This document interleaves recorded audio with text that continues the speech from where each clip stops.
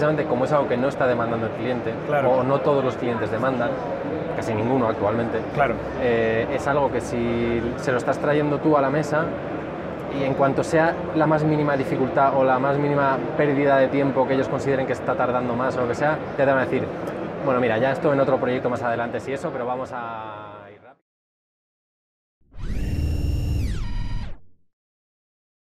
He estado en una sesión personalizada con Daniel Burro. ¿Burro o Burro? Buró. Buró, vale. Que se ha animado a venir con nosotros para resolver algunas dudas que tenía, ¿vale? Daniel está en contacto vía mail conmigo y bueno, dijimos que nos gustaría poder resolver las dudas a alguien de los que normalmente está en contacto con nosotros y fue una de las personas que ha hecho preguntas muy interesantes que creo pueden interesar a más gente. Ha hecho una pregunta muy clave, la verdad. Sí, por eso. Entonces, pues un poquito saber primero quién es Daniel y por qué te animas a preguntar y en qué situación estás. Pues eh, soy arquitecto, estoy en un estudio familiar, ¿Vale? entonces soy el que ha introducido el BIM en el estudio. Ajá. El- el- eh, las preguntas eran unas cuestiones que se nos plantean en el día a día ahora mismo Sí. y es cómo introducir el BIM en el mercado, o sea, cómo introducirnos en el mercado con el BIM.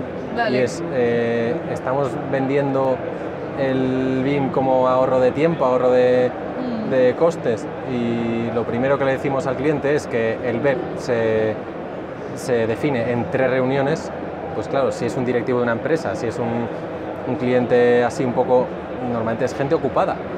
Y ya tres reuniones se les hacen muy cuesta arriba, pues entre eso y que hasta que te ruedas o, o implementas en el estudio del todo eh, el BIM, eh, no hay una velocidad de producción, de modelado y de, y de toda la Mm. gestión que conlleva eh, suficiente, pues Vale. mm, nada, la pregunta era sí, un nerviosismo ahí de... claro, mm, hay que, hay que dar una respuesta con una calidad a la que mm, queremos tener acostumbrados a nuestros clientes. Entonces, Más o menos de qué tamaño es la empresa en la que tú estás implementando BIM. Es ¿De qué- micro, menos de 10 trabajadores. Menos de 10 trabajadores, vale. El tema es que seguramente has recibido una formación orientada a muy grandes empresas y tu visión y, tu, y tus ventajas en el mercado son otras, distintas, ¿vale? Entonces, a ti te han dado como la visión de mm, macroempresas que se reúnen, muchas reuniones antes de empezar un proyecto y sin embargo tu ventaja es la velocidad y la inmediatez. Con lo cual, si tú propones lo de las tres reuniones, estás desaprovechando una de tus mejores ventajas que tienes frente a una empresa grande que tienen que mover a un Vale. elefante para que las cosas funcionen, ¿vale? Tú eres más ágil. Entonces, en vez de proponerle al directivo tres reuniones, que te puede decir que, que no tiene tiempo físico, Claro. yo le, le propondría, ¿vale? Si como idea una reunión que puede ser por Skype con él, para que él no dependa físicamente de trasladarse para hacer esa reunión y vea que es cómodo y que nombre a un portavoz de ese proyecto de su empresa, que lo delegue para poder hablar con él. Que siempre tengáis una referencia porque como se expongan distintas personas, es un caos Sí. Y empieza a ser como la, lo llamamos Diego y yo la bicefalia o la Sí. tricefalia, ¿vale? Como Cuando, que... cuando un cliente tiene varias cabezas, sí. Perdón. Cuando un cliente tiene varias... Cuando tienes que enfrentarte a un cliente que son muchas personas, que ellos mismos a veces no se comunican bien entre ellos, cliente bicefálico o tricefálico o X. Igual a problemas. Exacto. Eso, Un entonces representante. que delegues, que el directivo que está muy ocupado delegue en alguien de confianza suyo, pero que sea una persona para vosotros tener un interlocutor. Eso es en el supuesto de que en la empresa realmente deleguen, porque hay empresas que el directivo no delega. Entonces es una persona muy ocupada. O sea, me- estoy pensando en una muy concreta Sí. que tenemos como cliente y no delega. Entonces, Si no mm, delega, que sea por- con él, o sea, podéis proponer una reunión por Skype, que eso te va a decir que sí, porque Sí. lo puede hacer en cualquier momento, Sí. y que en caso de duda podáis contactar con él vía telefónica o, mm, o por mail. Vale. para resolver dudas, porque vosotros vais a tener seguir teniendo dudas, porque cuando enseñan o en el máster que hayas hecho te dicen tres reuniones es porque hay muchas cosas que concretar, Sí. pero vamos a ponérselo fácil a nuestro cliente. Claro. Sí, y además eso, lo que dice Luisa, al al fin y al cabo lo que quieres es tener un BEP, un BEP muy adaptado y un EIR, pues eso, ya bien fijado para que no haya problemas luego. Pues esos detallitos que tienes que afinar, como dices tú, puedes, eh, como dice Luisa también, con lo de las reuniones, sea Skype o presenciales, pero oye, a veces con un mail, en plan, estamos hablando de recursos humanos, estamos hablando de tiempo, de, de concretar plazos o de, de parámetros BIM que hay que concretar. Eso se puede poner en un mail a veces, ¿no? Y entonces empiezas tú a afinar tu documentación que necesitas para, para eso. Sí, lo bueno de que sea mail también es que tienes trazabilidad. O sea, Exacto. que no Claro, te puede decir eso. No te puede decir, no, es que tú me dijiste porque realmente me dijiste que esto lo incluía, no sé qué. Y tú dices, mira, no, yo lo que te puse fue esto. Claro. Porque si no, lo que te pasa es que al final, pues ya que te dije te- no sé qué, y de hecho yo he visto resultados de BEP de esas tres reuniones a veces y era un contrato así que se contradecía la primera parte con la segunda, en una parte decía que hacíamos mediciones, en otra decía que no porque lo habían hecho distintos técnicos, ¿vale? Eso suele ser de hecho desventaja de las empresas grandes. Y era un marrón, claro. Ah, sí. Desventaja de- sí. Eso- Que eso suele ser desventaja de empresas grandes. Vale, entonces era un marrón como que al final el cliente te decía, no, esto está en el contrato, está aquí, y tú no podías demostrar que no estaba en otra parte porque era un contrato que se contradecía. Claro, y Entonces, si es tan gordo además. esa es tu ventaja. Mm. O sea, tú vas a hacer algo que tenga coherencia. Sí, no, y aparte si esas tres reuniones se resumen un poco o se sustituye una de ellas por un, eh, un email Sí. o un primer esbozo en un Skype o lo que y sea. vender esa está bien. experiencia de usuario. O sea, eso al final, en la jerga de marketing empresarial, no sé qué, se llama experiencia de usuario. Un directivo tiene que tener una seguridad. Y una seguridad de que va a poder comunicarse contigo si tiene una duda, si tiene un problema y, y de que su tiempo lo va a aprovechar. Si tú nada más entras, le dices tres reuniones, se echa para atrás. Sí. Si tú le dices tu tiempo no- es muy valioso para nosotros, voy a reunirme contigo por Skype y en cuanto tenga una duda, no voy a avanzar sin tu, sin tu luz verde, Sí. ¿Vale? Entonces, eh, cada duda que tenga lo voy a hacer por, por mail y te va a llegar y no tengo, por favor, contéstamelo en dos días máximo para yo poder eh, realmente aplicarlo. Jope, yo como directivo diría, vale, genial, lo puedo hacer. ¿no? Y también de todo esto extraigo que, o, o se podría extraer, que no hay que ser tan rígido con lo que se con lo que se viene diciendo de cómo tienen que ser las cosas con el BIM y tal, porque yo tenía lo de las tres reuniones como fuego. Además, me acuerdo de Joaquín, que, que hizo mucho hincapié en lo de es, es muy importante, tal, tres reuniones. Pero bueno, pues que hay que adaptar las cosas a, Claro, a a cada situación, cada tipo de empresa, Para una tamaño. empresa gigante, claro, para una empresa gigante, si no haces tres reuniones mínimo y es un proyecto que te va a llevar, imagínate, son proyectos de 10 años. Si no haces tres reuniones, vas mal con un proyecto de 10 años que es un metro de no sé cuántas mil estaciones. Diez a- ah, claro, vale, en ese tipo de... Claro, sí, sí. proyectos mastodónticos donde van a aparecer muchísimas empresas, muchísimas colaboraciones, Sí. nos tenemos que Claro, poner hay de que tenerlo acuerdo. todo atadísimo. Evidentemente, os van a decir tres reuniones o 10, Mm. pero vosotros tenéis otras suerte y otras ventajas. ¿Qué más cosas te podemos ayudar?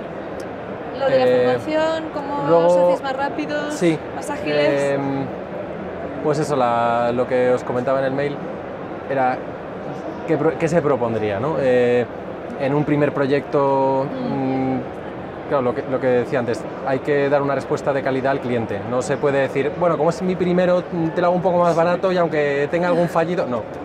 Eh, hay que dar una respuesta de calidad desde el primero. Entonces, Y, tam- y tampoco puedes encarecer porque, lo- Claro. tampoco porque, ay, como soy nuevo hay que encarecer. ¿no? Claro, tiene que tardar más y os va a costar más. ¿no?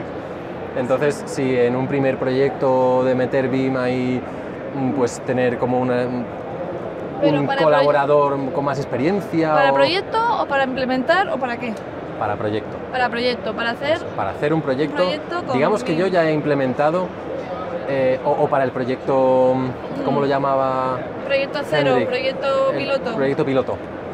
Vale. El proyecto piloto que dices, bueno, pues tiene que ser con un cliente, claro. Sí, Después, para ese primer proyecto, ¿qué Vale. te sirve de proyecto piloto para la implementación? vale. Mm, ¿Qué haces? ¿Tener, meter a alguien que sea un experto Mm. o mm, rodarte a saco antes practicando, no sé? es- Vale, esa pregunta nos la hacían mucho y de hecho en el libro está escrita y debatida muchísimo porque es algo como que le pasa a muchos compañeros, ¿vale? Entonces es, es como la doble duda. Para empezar, al cliente no le puedes mentir, ¿vale? Y Claro. tú no le puedes decir en plan, no, es que tenemos muchísima experiencia y no sé qué, y luego puesto el primer proyecto. El cliente va... Yo siento más seguridad incluso como cliente si me dicen la verdad. Y dices, mira, nosotros hemos implementado esto, es verdad que es nuestro primer proyecto, entonces lo que te propongo es, por ejemplo, cobrarte lo mismo que te cobraría por el proyecto en CAD, sabiendo que tú tienes ese plus de que te lo estoy haciendo en BIM y que va a ser más útil para ti en el futuro. ¿Vale? ¿Por qué? Porque tú estás eh, invirtiendo en formación, tiempo en formación. Tu equipo tiene que ponerse las pilas, formarse, pero ese, ese coste de formación no se lo puede repercutir al cliente. Claro. Entonces, De, Sí. de hecho, en ese campo también tienes la, tenemos la suerte todavía, tenemos esa suerte que no es obligatorio, con lo cual tú decides hasta qué punto quieres ser ambicioso en, en la profundidad de, de tu modelo BIM. Entonces, cuando sea obligatorio, cuando esté todo súper estandarizado y tal, tendremos otras ventajas, que estará súper esta- estandarizado y tendremos más claro hacia dónde hay que ir. Pero eso, eso por ejemplo, no, no, no puedes elegir cuán ambicioso te pones en tu modelo. Entonces tú, desde el EIR y tal, a mí me parece que es una oportunidad enorme ahora ponerte a hacer como lo estás haciendo. claro, o sea, no le vas a decir te voy a cobrar más porque es BIM, porque tú no puedes ofrecer todas las ventajas que trae No, con claro. el BIM si eres nuevo. No. Pero sí que le puedes decir, mira, yo esto es lo que cobra por un proyecto normal. Y te propongo cobrarte lo mismo, pero darte esta ventaja. Si quieres lo coges y si no, pues no lo coges, ¿vale? No- Nosotros nos hemos propuesto trabajar así, creemos que es bueno para ti por esto, por esto, por esto. Yo creo que es mejor decirle la verdad a los clientes. Sí. ¿vale? Sí, sí, claramente la sensación de transparencia es importante. Claro, y además en el siglo XXI que yo creo que es el siglo de la transparencia. O sea, yo creo que el siglo XX fue el de fake it till you make it. En plan, es verdad, o sea, es como ese elemento, en plan, no, di que es súper grande y que. Fíjate, aquí eh, yo creo que mucha. Perdona, pero es que estamos en la feria del BIM y hay mucho siglo XX. O sea, de Hay no, mucho- hazte súper grande. vende muchísimo, no sé qué, y yo creo que ahora es todo lo contrario, o sea, tú vas a saber fácilmente si una empresa funciona o no con BIM o qué están haciendo, porque todo el mundo tenemos internet y todo el mundo nos informamos y somos como las marujas del pueblo versión 2.0, ¿vale? Y entonces es muy fácil preguntar y saber si esta persona eh, ha implantado BIM o no ha implantado BIM. Bueno, pues nada, con espontaneidad aquí. Y, y entonces yo prefiero ser brutalmente sincera con lo que hacemos y con lo que no hacemos, ¿vale? Porque cuando se da esa situación, que el cliente sepa dónde estáis. Ahora, una vez que lo empezáis a meter y dices, vale, ahora ya tenemos este control, pues ahora ya sí que puedo ofrecer este precio o más precio o menos precio por el valor añadido Sí, que ir un debemos. poco... Que en, ese, en ese sentido, eh, ¿vuestro cliente os está pidiendo las metodologías o es No. iniciativa propia? Es iniciativa propia. Opor- oportunidad enorme. O sea, es que ya te digo, en el EIR empiezas a hacer EIR, empiezas a hacer web y tú empiezas ya a poner tu, tu límite de exigencia o tu exigencia. Y claro, no te, tampoco te tires piedras sobre tu propio tejado. Oye, pues vamos a hacer un modelo con esta riqueza de datos dentro. ¿Vamos a hacer unas build o no? Eh, entonces tú eliges. Pero precisamente como es algo que no está demandando el cliente, Claro. o no todos los clientes demandan, casi ninguno actualmente, Claro. eh, es algo que si se lo estás trayendo tú a la mesa y en cuanto sea la más mínima dificultad o la más mínima pérdida de tiempo que ellos consideren que está tardando más o lo que sea, ya te van a decir, bueno, mira, ya esto en otro proyecto más adelante sí eso, pero vamos a ir rápido, que el tiempo... Pues si, si tú no- notas que el cliente, pues de alguna manera está abierto a- al valor añadido que genera el BIM, ya sea que el cliente quiere tener unas build, porque ahora se está poniendo muy de moda, queremos todos tener un modelo 3D, ya no, ya no vale Solo los el modelo. Claro, Todo el proyecto con CAD y solo el modelo as build. eso es. Sí, Entonces, si ves que el cliente realmente está abierto a ese, a ese valor añadido, sí. pues encamina tu modelo y tu aprendizaje, tu nivel de vamos a implementar nuestro, nuestro hacia ese valor añadido. Si no, pues por ejemplo yo, por mi forma de hacer y tal, lo encaminaría a productividad, a ser el más productivo. Yo creo que es un poco como lo que estás preguntando es eso, generar los estándares justos para tener contento al cliente y yo y que me sea rentable. O sea, por regla general los clientes no suelen pedir, no suelen pedir, salvo ese tipo de cosas, no suelen pedir yo lo veo, es una decisión de casi de marketing. De si el cliente pide valor añadido, pues dáselo y, y aprende ese, ese valor a hacer ese valor añadido. Que no, pues algo que te renta a ti. No, y también Sí. decide si tú quieres. Perdón. Ay, perdón, es Sí. que no me acuerdo. Y también decide si tú quieres apostar por eso a fuego y decir, mira, aunque no me lo hayan pedido, pongo el mismo precio que haría por, con Eso CAD y luego claro. yo porque a mí me va a ser a la larga más proyectos. rentable. Eso. ¿Qué es a ti más rentable? Claro, eh, hasta que... Eso. ¿Cuánto quieres invertir en el futuro, por así decir, no? Sí, sí. Y luego la- el tema de formar a tu equipo, meter a alguien nuevo, ¿no?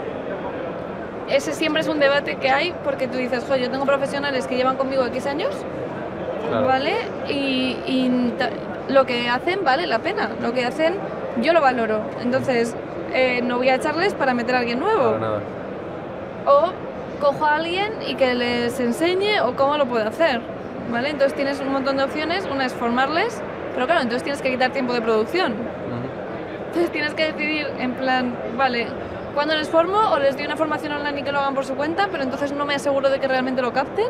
No sé, ¿tú qué, cómo lo ves eso? ¿Qué perspectiva Eh, tienes ahí? Pues yo personalmente eh, el tiempo no, o sea, no es un chicle. O sea, el, ¿El tiemp- tiempo? el tiempo no es un chicle.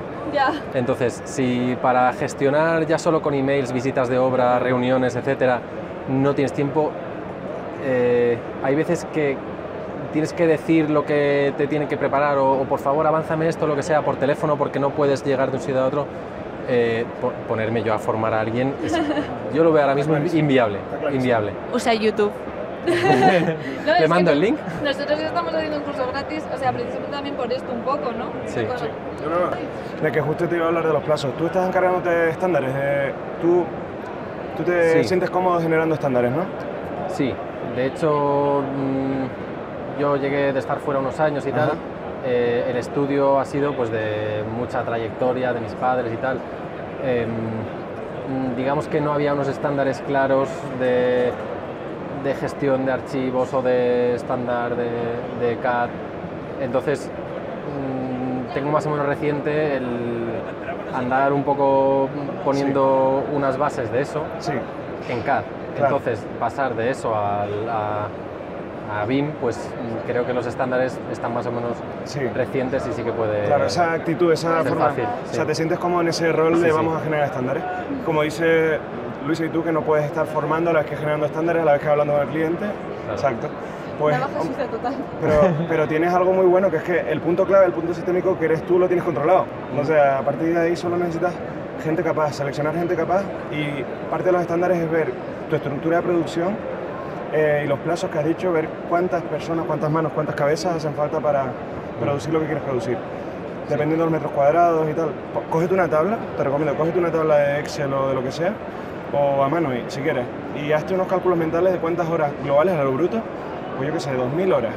Imagínate, o en día, si quieres, de 8 horas, en jornadas laborales de 8 horas. Y piensa, ¿cuántas jornadas laborales de 8 horas hacen falta para, para terminar este producto? Que es un edificio terminado as built, por ejemplo. Y entonces, es que yo lo hago mucho, es, eso es lo que hago, o sea, un apilamiento de horas a lo bruto y después ya divido si, si tienen que ser entre tres personas, entre tres personas, si, tengo, si so- puedo ser yo, comérmelas yo, pues me las como yo y así. Eso es algo en lo que estamos trabajando, pero es muy difícil. Porque siendo, poca gente y teniendo muchos proyectos de muchos tamaños, son muchos pequeños, pues Claro. un cambio de cubierta, no sé dónde, un- una reforma de no sé Buah. qué.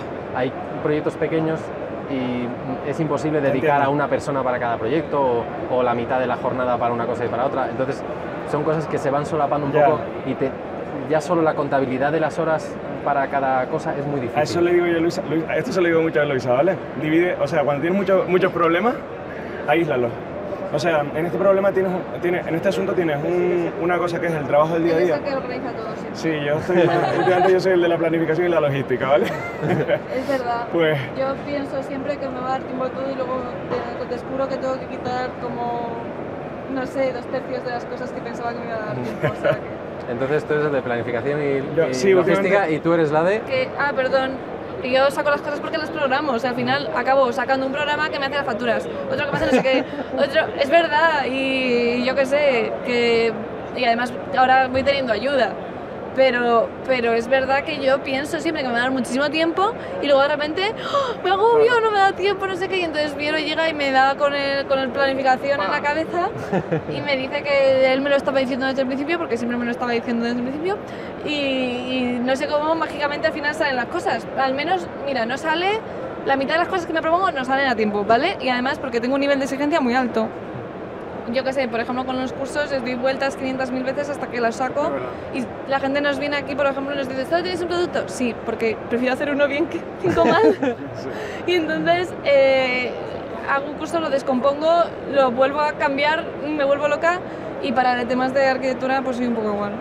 Y entonces, pues Viero es el que... sea, te voy a dejar la palabra porque... O sea, la, es- la cosa, la clave, lo que vida. siempre le digo a Luisa cuando se pone en ese plan, en plan, es que no puedo con mi, con mi, con mi vida, porque claro, No se, vida. se plantea tantas Se movidas, pues le digo, divide todos tus problemas. Ahora mismo yo veo que tienes un problema, muy, un problema que es muy bueno, que es que tienes mucho curro, Sí. muchos clientes y, mu- y hay, que, hay que tratarlo, hay que mimarlos un montón. Sí, Y otro Y problema que es que, está, y también es muy bueno ese problema, que es que estás pensando a futuro. sí. Y entonces, si los piensas a la vez no son compatibles, se te explota la cabeza. O sea, lo que hago yo es dividir mi cabeza, hago, hago una partición en mi cabeza y digo, a lo, a lo burro, ¿eh? Y, y digo, vale, de repente no tengo clientes, ¿vale? ¿Cuánto, ¿Cuántas horas?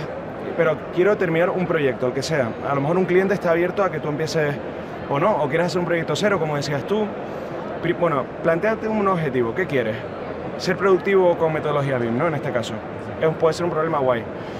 Eh, puedes hacerlo como has dicho tú, buscar uno de tus proyectos que empezar a testear o puedes, o puedes empezar a hacer un proyecto cero. Planteate unas horas, que tú digas, ahí mira un poco a la, a la otra cara del cerebro y decir, ponte un margen de, oye, podría dedicar, pues qué, ¿cuántas horas? ¿5.000 horas? Yo qué sé. Claro, entonces estás dedicando horas a futuro, exacto. Y esas 5.000 horas las puedes invertir o en un cliente que tú veas que, oye, pues que a lo mejor incluso que no te va a pedir modelo, pero es que tú quieres empezar a testear y quieres, tu margen de exigencia es, oye, que quiero lanzarle planos aunque parezcan CAD y ni siquiera le dices que es en BIM. Pero tú estás ya realmente empezando a, a coger agarre a las metodologías por dentro. Entonces, el cliente a lo mejor ni se entera de que lo has hecho en BIM, le has cobrado lo mismo, le has, le has hecho un buen servicio, él está contento, pero tú ya sientes que estás empezando a rendir. Eso es. Mira, el último proyecto lo he hecho Lo he tal. hecho de tal, ha funcionado Sí. tal, es- he obtenido, perdón, he obtenido este resultado y esto es la, la realidad de lo que tengo y te ofrezco. ¿Qué te parece? Y, pero, pero lo que dice Viro también es verdad, o sea, a mí me ha costado mucho cambiar la perspectiva de estoy en el día a día hasta aquí y ahora mete las horas de futuro. Porque las horas de futuro es lo que hacen que crezca tu empresa o que se desarrolle. Entonces, yo estaba O que tenga un futuro. o que tenga un futuro. Yo estaba metida hasta aquí en el día a día. Yo no tengo tiempo ya para todo lo que me he propuesto. Y ahora me dicen que tengo que pensar en, en un futuro, en coger más gente, porque necesito ayuda, porque, porque estoy, estás metido en el, en el día a día y, y, te, y te absorbe tanto. Y dices, si ya no tengo tiempo, o sea, si ya necesitaría duplicarme para hacer todo lo que tengo, ¿cómo voy a pensar en el futuro? Estamos locos.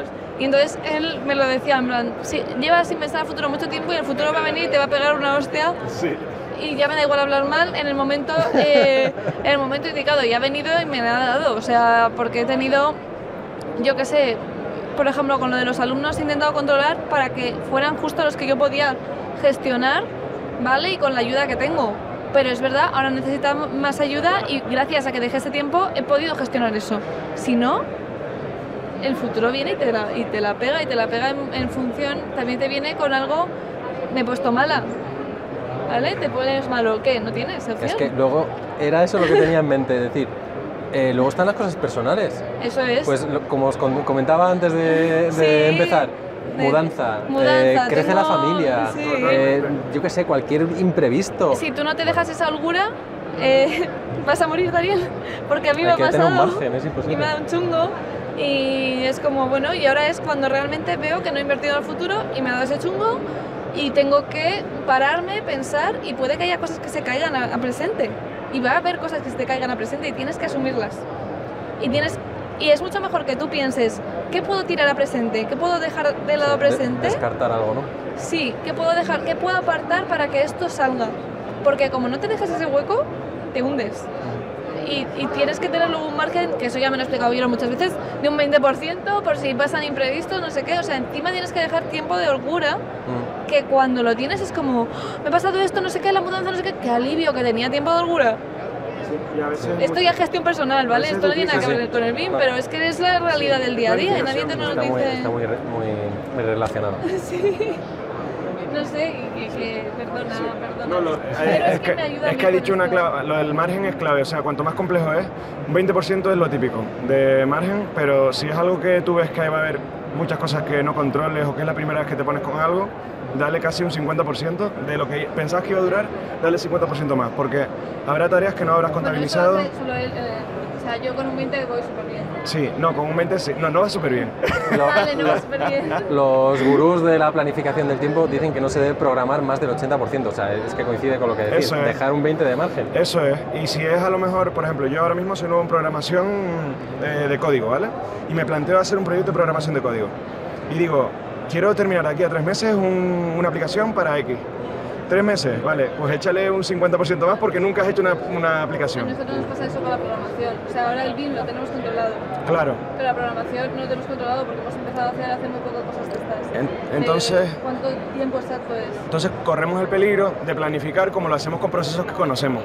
Decir, ah, mira, pues esta es la lista de tareas que tengo que hacer, pa, pa, pa, pa, pa. Sumas horas y dices, pues mira, pues en tres meses. Pero espérate, que nunca he hecho de esta lista de tareas, el 80% nunca las he hecho. El 80% de las, de las cosas no las he hecho. Y es que a lo mejor es, es tu caso un poco porque realmente Sí. estás Y remodelando... de tu equipo. Y de tu Claro. equipo, exacto. Entonces estás reformando una empresa, estás empezando a hacer eh, cosas de, de cero, dale margen para, joder, hasta pasárselo bien, para tomarse una cerveza y decir que bien nos ha salido esta parte de, de lo que teníamos pensado. ¿Alguna cosita más, Sí, Daniel? y luego una duda más, que es, eh, poniéndonos ya en la situación de que hagamos el eh, proyecto piloto, tal, o el segundo, el tercero, lo que sea, y ya estemos rodados, ¿no? Y ha- hayamos hecho, pues, por ejemplo, eh, modelo as-built, que es lo que pide el cliente para tener su posibilidad en el futuro de usar lo que sea, ¿no? Ah, Vale. sí. Eh, y de repente, pues se te plantea un desafío distinto, del, porque el BIM tiene tantas ramas, tantos usos, los veintitantos, Mm, y dices, por ejemplo, se me plantea un cliente que quiere eh, pasar su eh, facility management a BIM. Sí. Entonces dices, vale, ¿cómo tengo yo la seguridad, Sí. habiendo hecho pocos modelos, de hacer un modelo que de verdad vale para ese uso? Tienes también que hacer alianzas estratégicas, o sea, Sí. eh, no puedes aprender de todo. Eso ya te lo digo porque el BIM es como infinito. Nos veremos. Nos veremos. El BIM es como infinito, ¿vale? Entonces eh, es todo lo mismo que había antes, pero con mil aplicaciones y con mil formas de, de hacerlo. Y no puedes hacer todo. O sea, vas a, si intentas hacer todo, vas a fracasar. No, no es imposible. O sea, Es como- eh, se ha abierto un abanico bestial con... Claro, entonces intenta encontrar gente en la que puedas confiar. Igual puedes darles el trabajo y llevarte un porcentaje o lo que sea y centrarte en lo que realmente tú crees que te va a rentar a ti para tu empresa. Porque nosotros, por ejemplo, yo no hago facility management de momento.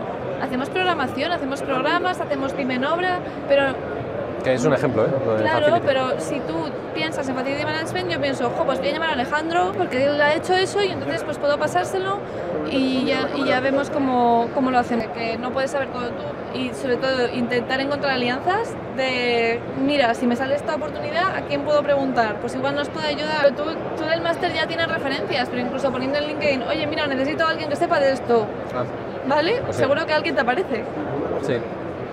Hay una cosa de empresarial. No sé si has visto alguna vez lo que llaman el model Canvas, de, es como de rollo, como de gestión de negocios. Es como un modelo, es un... Sí, ahora, ahora lo- de hecho lo vamos a poner en el vídeo. Es un modelo en el cual para visión estratégica de negocio está muy bien. Para visión estratégica de modelo de negocio está muy bien. Se llama pon Model Canvas en inglés en Google y te sale. Tú te lo imprimes en A4 o en A3 o en, A, o en A2, sí, dependiendo de lo verdad. No, no, es que cuando, quieres- cuando hay gente que se lo, se lo pinta Vale, en la a pared. ese tamaño lo imprimiré, ¿no? Sí, sí, sí, sí, justo. eh, Sí, no, a ver, es que una Es cosa un para ti modelo- Es un, como un cuadro de modelos de negocio. es una plantilla, una plantilla que te hace pensar y una de las claves de esa plantilla es alianzas estratégicas. Y pues sí, como dice Luisa, eh, no vas a ser experto en todo, tu cliente no te, aunque te pida cosas, hay veces que te las pida como de regalo, por así decirlo, de acompañamiento a un servicio principal, incluso habiéndote la pedido como servicio principal, a veces también lo puedes delegar. Con lo cual, échate un ojo a eso porque aparte de lo de las ali- alianzas estratégicas, que a veces no tienes por qué aprenderlas tú, hay otras cosas, otros aspectos de recursos humanos, económicos y de logística que puedes mm, estructurar muy bien dependiendo de cómo los pienses. Es como una visión general de tu empresa. No, sí, como project manag- manager que hemos sido en, en algunos proyectos, no hay que saber de todo. Lo que hay que saber es buscarse las colabora- los Sí. colaboradores adecuados Eso para es. cada función, ¿no? Totalmente. Entonces, me imagino que esto trasladado al BIM pues es igual. Eso O Totalmente. sea, no es decir, vale, Facility Management, pues vamos para allá todos, ya, a todos a formarse en cómo modelar bien para... Es imposible. Es que es imposible. asume que no puedes saber todo y Porque piensa. parámetros y parámetros y Y cosas. también piensa, es. también, incluso aliados, de decir, jope, me vendría muy bien tener una aplicación que haga esto, pues la puedes pedir también. Para que me automatice, que no tengo que saber de todo. Incluso a nivel interno, tú puedes ser tu propio cliente a nivel interno y pensar cómo mejorar tu empresa, tanto para formación como para mejorar procesos. ¿Vale? No soy un crack modelando. Vale, pues igual Luisa sé que programa, mete una aplicación. Yo qué sé. O cojo eh, que, me, que me apoyen para enseñarles otra persona que no tienes por qué ser tú. Sí. O sea, porque yo creo que tú te estás cargando Es que es un- hay un límite, es que es imposible. por eso. Y entonces, bueno, pues es un poco la idea. Y que visualices tu empresa desde lejos y que. Porque es que yo soy culpable de lo mismo. O sea, de cargarme demasiado y luego decir, "Ah, no puedo hacer todo esto lo que me he comprometido. ¿Vale? Claro, y la carga de trabajo y todo eso en una empresa pequeña es que es muy sensible de la gente que tienes ahí trabajando o, o colaborando de vez en cuando o no sé qué. Eh, eso también es muy difícil planificarlo porque tienes que estar consultando a ver disponibilidades tal cual. Totalmente. Ya, Es pero cuando eres pequeño muy tienes que difícil. planificar mucho más. Sí, sí, sí. Es eh, a- además con una... eh, con un- cintura. un- con un mo- eso, con un movimiento de cintura mm, ágil. Yo creo que tú lo tienes, porque simplemente que te hayas animado a preguntarlo me parece de valiente total. O sea No, es que, que, es que, eh, digamos que nos venía bien porque era una cuestión que se nos estaba planteando ahora y mira, pues justo, oye, estamos planteando esto tal, pues, pues toma. pues fenomenal. Porque Oye, una cosita más, eh, justo lo que has dicho tú, la de la cintura, entonces requiere, eh, está muy bien porque Luis ha dicho una clave y tú la has rematado. Hay que planificar, siendo pequeño hay que planificar un montón y hace falta tener cintura. ¿Qué significa cintura? Que hay que replanificar cada dos días. Y es, bueno, él hace eso, es que... o sea, o sea a, veces, a veces es como eh, estoy traicionando a mi yo de hace dos días que decía que iba a ser X, pero es que ha salido una oportunidad que es la hostia. Él se habla a sí Bueno. mismo en tercera persona.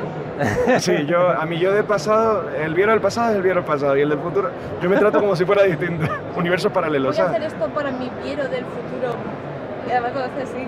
Y, y cuando lo haces así es muy bueno porque a mí, por ejemplo, me pasaba que nunca me tenía ni misma en cuenta. Entonces yo hacía reuniones con todo el mundo y cuando me reúno conmigo misma, ¿no? Entonces me obligó a hacer una cosa que me pareció súper buena, que era la cita en la agenda, igual que se la ponía para el cliente, me la ponía para mí. Entonces me me hacía poner, Luisa se compromete a reunirse con Luisa para un café de tal hora a tal hora para organizar su empresa, ¿no? Y entonces me lo hacía hacer. Qué Y yo- bueno. claro, yo lo veía en mi agenda y yo decía, vale, me he comprometido conmigo misma. El problema de Luisa es que, el problema de Luisa es que no se considera a sí misma. Que, no, no, pero no, que no, que es un problema, pero porque eres súper exigente, pero te, te exiges tanto a ti misma y te tienes tan poco en cuenta, o sea, te vuelcas tanto en, en los clientes y en, y en lo que quieres aportar, que no, no piensas en, en tus posibilidades, en tu viabilidad. Pero bueno, que lo hace genial y, y- y el hecho de que lo ponga en la agenda Es verdad, es que el, el hecho de ponerte en la agenda a ti mismo y replanificar y de considerar que a lo mejor dentro de dos días tienes que borrarlo todo. Pero claro, no, a veces no pegas, te pegas tres horas o dos horas haciendo una, una planificación estratégica y ya sientes que vas a estar un mes con esa planificación. Y a lo mejor en dos días tienes que volver a, a borrarlo todo. Porque porque- merece la pena. Eh, Y porque en parte pueden venir imprevistos, te sale un no sé qué que es urgente, todo es Claro. urgente por supuesto. Y aparte, si tú dices, te traicionas a ti mismo, a tu planificación, eso, bueno, dependiendo del ego de cada uno puede ser Eso es, más sí. o menos problema. En mi caso no, No hay ningún problema. problema. Pero con la gente con la que cuentas, que quizás ya se Claro. ha organizado, tal, Bueno, si se lo cuentas, es si, le- más- si tú les comentas que es porque has perdido un cliente, porque se ha perdido, porque ha encontrado o porque realmente ha salido otra cosa que merece la pena, te van a entender. sí, O si sea- entenderlo lo entenderán, pero que andas fastidiando un poco a la gente. Ya, sí. El, el cliente, si tú te has comprometido con él y luego haces una cosa, por eso es muy importante la locura. Claro, claro, exacto. Y la holgura, o sea, yo eso no lo meto en holgura. La gestión no la meto en holgura. Pero yo. Ah, Sí, sí, sí, que te he entendido. Tranquilo, tranquilo. El asunto es que precisamente por eso, por el hecho de que al ser pequeño, es que yo también soy autónomo, ¿vale? Y yo meto mucho en... Dentro de la planificación, meto tiempo para planificación. Entonces, para, porque sé que voy a tener que, que recalcular imprevistos. Entonces, el problema es, lo que te digo es que cuando uno se pone a planificar, piensa que ya hasta dentro de un mes no voy a volver a tocar. Entonces, lo meto ya para dentro de una semana ponerme con eso. Así lo hago yo. Sí. ¿Alguna otra cosa? yo es que también me leo cosillas de estas de planificación y tal, Ah, bueno. y había, Y han sido project managers también. había, había una que decía, ¿Estás con ¿Eres project manager? ¿Han sido en su empresa? Eh, hemos ido en algún proyecto. Em, había una que decía que había que dejar tiempo para recoger como los niños pequeños. Si tienes media hora para jugar, no se puede estar la media hora jugando. Tienes que dejar un tiempo para recoger. Eh, al principio igual explicar el juego y al, y al final recoger. Y es ese tipo de cosillas que es que no, te- no tenemos en cuenta. El tiempo que voy a tardar ahora en ir hasta no sé dónde y coger y llegar a tal, es, todo eso hay que tenerlo en cuenta y normalmente en la mente no lo tenemos. Mira, nos llevamos una cosita a casa. ¿Cuál es tu empresa? ¿Cómo se pueden poner en contacto con vosotros si ya sabiendo que trabajáis con Bing, que lo estáis metiendo, si alguien está interesado, pues cómo contactan con vosotros? ¿Tenéis Vale, pues- web? ¿Tenéis email? ¿Tenéis...? Eh, Esto es un poco incoherente, ¿no? Porque eh, estamos mm, introduciendo las nuevas tecnologías y el BIM, pero no tenemos página web todavía. Entonces, eh, somos estudio GIB, G de Galicia, B de Barcelona. Entonces, no tenemos web todavía, estamos en ello, recopilando un poco el currículum del estudio y tal, porque como viene de un modelo tan tradicional mm, de estudio, de arquitecto, De de, de tal, y no tener web, no, pues eso, o sea, poco a poco, y es que llevamos un año, fíjate, de un primo que se dedica a temas de páginas web, diseño gráfico, no sé qué, y, y hace un año que ya le dijimos, oye, a ver si nos ponemos con esto y tal, y es que el día a día es tan, De no parar. tan de no parar, es una vorágine que... Mételo en tu saquito de horas del futuro. Sí, sí, sí, eso ya lo hemos hablado varias veces con mis padres, pero Sí. bueno. Y que ya dentro de poco, pues ellos quieren dar un paso atrás, mejor dicho, un paso más Sí. atrás Sí. eh, que el que ya han dado y, y ya, pues, eh, pues ya quedarme yo con el, digamos, la gestión del estudio, ¿no? Sí. No, pues es que mm, puede mm, resultar un poco incoherente, ¿no? A alguien que le digas, eh, te estoy ofreciendo una innovación Tecnológica. tecnológica que es pasar del CAD al BIM, que todavía no es obligatorio y tal, y me he hecho un máster de la leche y no sé qué, ¿no? Pero no tengo web. Por favor, aunque, sea, un poco- aunque sea de presentación, o sea, aunque sea de estamos aquí, contáctanos aquí, un teléfono, ya está. Sí, Pero algo. Algo tenemos que hacer. Sí. Y nada, pues... eh, Te dejaremos conta- tu contacto, te dejaremos el email, ¿vale? Sí, nos Para llegan puedan- tantos clientes de, de boca a boca o de conocidos, de constructores, de colaboradores, de, Sí. Tal, que... Que no os ha hecho falta realmente- promocionaros. No, Joder, pues felicidades. ¿eh? Eso, chapó. Te felicito yo a ti. gracias. En serio. Vale. Eh, bueno, es la labor de, pues no sé, 30 y muchos, 40 y ya no sé cuántos años lleva mi padre al frente de- del estudio. Fue salir de la carrera, Y empezar. asociarse, no sé qué, y, y con un par de narices para adelante y claro, toda esa trayectoria. sí, eso es algo que, algo Vale. que yo creo que nunca les podré pagar a mis padres. Lo tienes para ti. Pues, pues nada, pues te voy a despedir. Te dejo también, quiero despedirle. Si Bueno, quieres. Daniel, ha sido un placer tenerte aquí. Igualmente, Eh, un da gusto. estar. Y, y que sigas así con esa ilusión, o sea, da gusto porque con esa energía que flipa, o sea, te- te- tienes cosas importantes entre manos. Pa- Lo has dicho de forma muy humilde, pero a mí me parece que tienes cosas muy importantes y mucho futuro entre manos. Da gusto, Y lo estás mucha cogiendo. ilusión, mucha ilusión. Y fuerza, o sea, lo estás cogiendo con fuerza y eso es lo mejor que se puede Sí. decir. Ya está, no te falta que lo des más. Está Bueno, pues hasta la próxima. Vamos para allá. Venga. fenomenal.